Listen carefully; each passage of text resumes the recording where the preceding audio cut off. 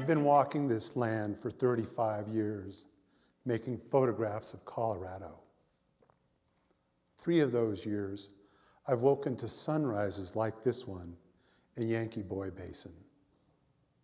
This is the beautiful Colorado that I live with and know and write about and photograph. But I've seen a change, a big change in just that short time.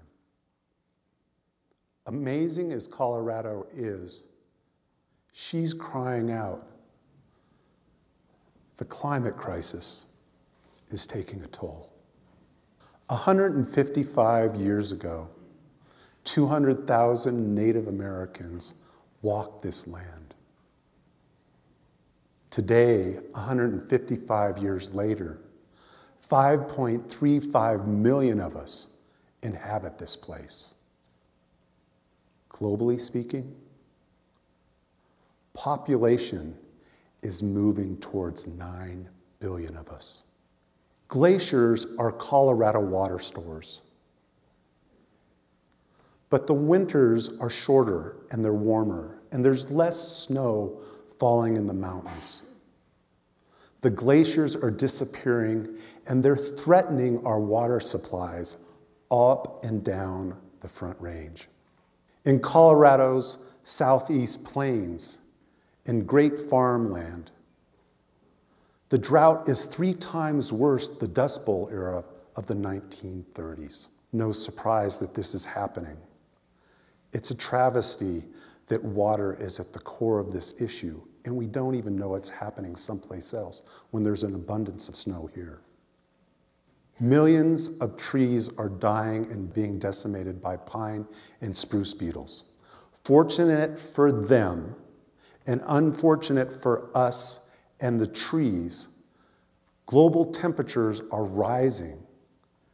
And these bugs are growing exponentially, and they have two life cycles in one season. With all the dead and dying trees, we have more wildfires and wildland fires that burn hotter and more thorough and that are more dangerous and almost impossible to contain and threatening our own lives. The floods from the rainwaters in 2013 in Boulder out along the plains not only caused billions of dollars of damage, but they also clogged the rivers with sediment and debris. Here's the untold story. The news story that you didn't hear. Out along the South Platte River, the damage to the gas and oil fracked wells that leached chemicals into our drinking water and into our irrigated agricultural lands. That is the story that we shoved under the rug.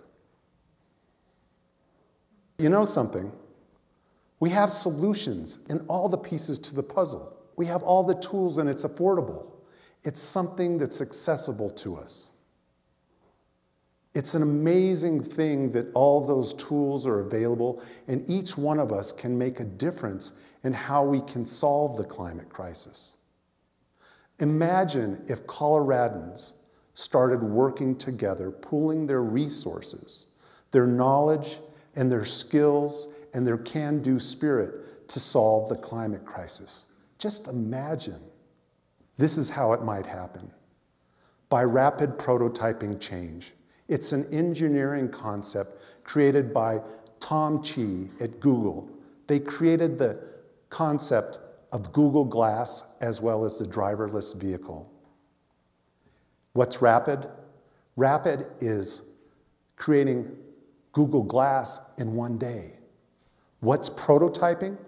Prototyping is taking the best idea, testing it, getting feedback, reiterating it, and testing it again.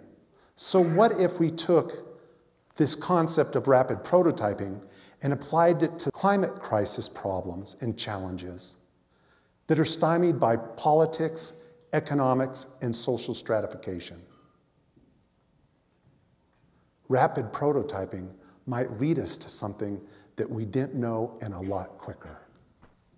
Last year, We applied the rapid prototyping concept at the Climate Summit. We invited 60 people from 16 sectors to engage in the process of solving Colorado's climate crisis.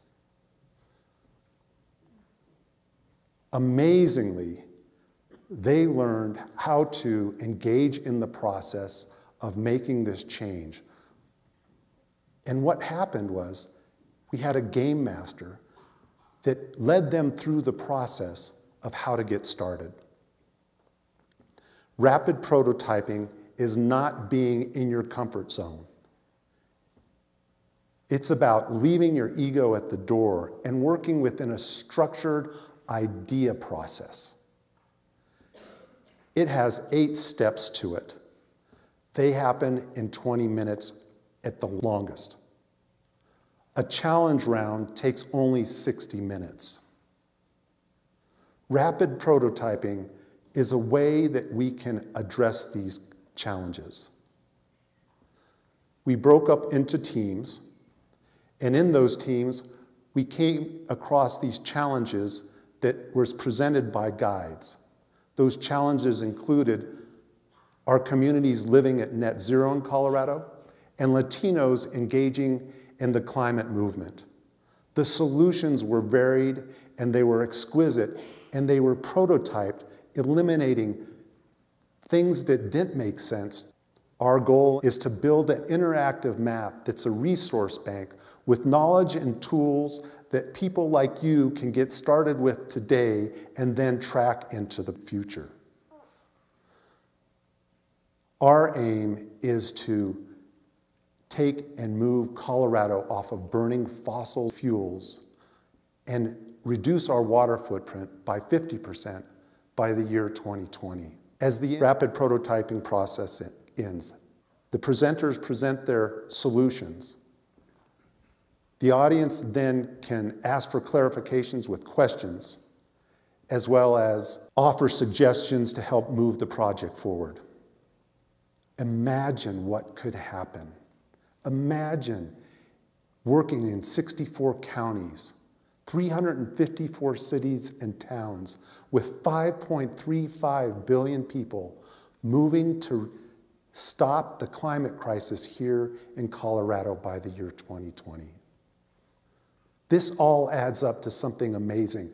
If Colorado led the way and all other states followed, we might be able to solve the climate crisis together looking at this beautiful image of the back bowls of Vail out into the Holy Cross wilderness. Probably many of you have seen this vista.